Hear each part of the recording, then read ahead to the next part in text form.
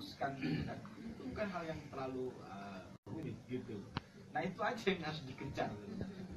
nah saya mengapresiasi ya kerja kerja uh, produksi ya kalau bicara itu di kabinet awalnya Pak Jokowi ini saya terus terang bang saya Hmm. merasa bahwa kita melakukan gerakan geliat gitu ya misalnya terjadi cetak sawah baru perbaikan irigasi ini keren cool ya tetapi saya mau ingatkan bahwa infrastruktur itu tidak langsung bisa menyelesaikan masalah ya. Butuh eh, waktu butuh waktu dan butuh apa namanya itu lanjutannya. Contoh yang paling sederhana misalnya kebijakan subsidi benih saya mau secara khusus mengkoreksi bukan mengkoreksi memberikan input. Kita di perhimpunan sadar pertanian diskusi detail tentang ini. Subsidi benih harus betul-betul berdasarkan uh, mapping wilayah tidak boleh disamaratakan lagi. Varietas benih dengan varietas ini itu tidak digunakan petani kalau salah. Betul banget ya, ya jadi misalnya contoh ya saya tahu uh, di Lampung itu kita banyak sekali dapat bantuan benih jagung ya. saya juga tahu karena saya berada di dalam apa. Yang mau saya sampaikan benih jagung kita yang biasa ditanam petani itu udah benih jagung yang premium.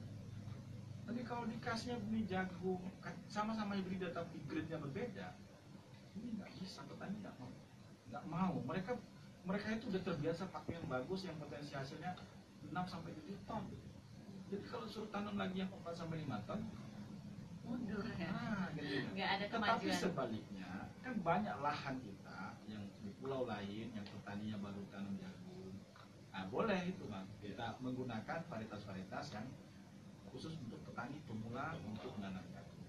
Nah kebijakan ini tidak boleh sama rata semua. Itu mau saya sampaikan tadi di samping kita eh, negara mengalokasikan budget untuk irigasi itu gede. Bisa dicek list APBN yang teman-teman ini bisa sampai tujuh ratusan miliar. Triliunan. Kan sayang kalau uang itu belum lagi cetak sawah. Cetak sawah ini sudah dilakukan. Dulu sempat diprotes dalam media nasional pengguna apa katakanlah kerjasama dengan alat negara tentara tentara sebenarnya logika itu saya pribadi ya setuju ini atas nama pribadi bang setuju menggunakan atau melibatkan kekuatan negara lain agar terjadi percepatan ini. Tetapi itu tidak boleh berhenti. Setelah cetak sawah harus ada program lanjutannya agar sawahnya kemudian tumbuh.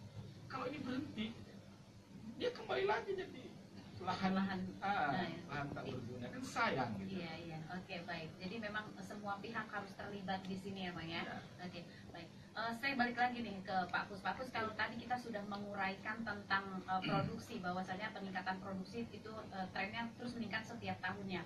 Nah penggunaan beras terbesar adalah untuk konsumsi. Sekarang kita ke konsumsi atau disebut juga pangan. Nah tren peningkatan ini Pak Kus, apa faktor-faktornya Pak yang mempengaruhi peningkatan pangan ini Pak konsumsi? Iya, jadi oh, saya juga ingin menyampaikan Mbak Fitri ya. Seperti yang disampaikan Bung Ilham tadi memang yang paling mendesak kita itu data. Jadi memang data ini secara nasional harus sama gitu.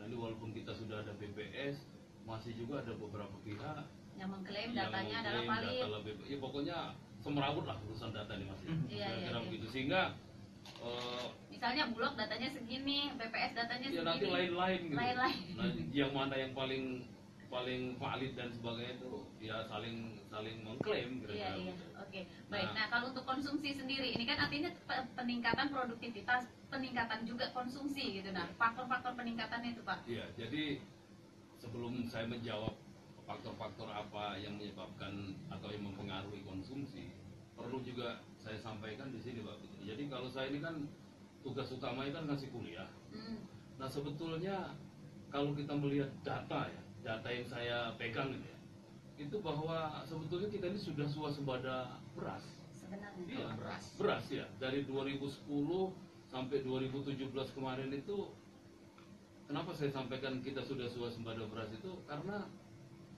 data produksi dengan data kon- konsumsi itu tinggilah data produksi sebagai contoh tahun 2017 itu kalau nggak salah kita itu produksi beras itu berkisar sekitar 47 juta 47 juta sekian sedangkan konsumsinya itu hanya 39 Oh ya? Iya, 39 juta, koma sekian lah. Pokoknya 30-an di, di 39 gitu.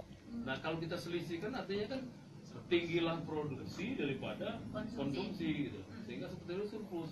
Nah, saya nggak tahu eh, masalah impor dan sebagainya itu saya nggak mau ikutan Iya, iya, iya, iya, mau baik. ikutan. Tapi intinya kalau saya ngasih kuliah dengan mahasiswa saya, saya kasihkan data itu. Bahwa sebetulnya kita itu swasembada.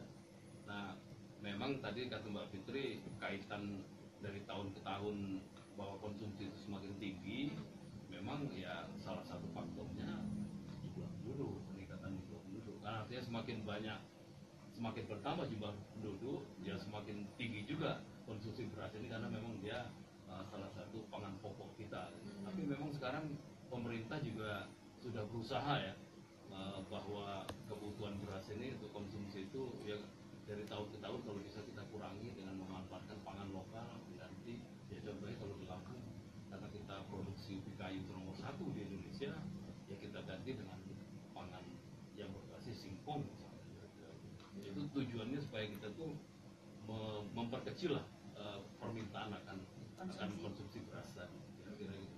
jadi intinya bahwa yang paling utama itu kenapa meningkat konsumsi kita ya pertambahan jumlah Hmm. Ya, Tapi dari data yang Pak Kus punya bahwasannya eh, produksi itu lebih lebih tinggi daripada konsumsi. Iya.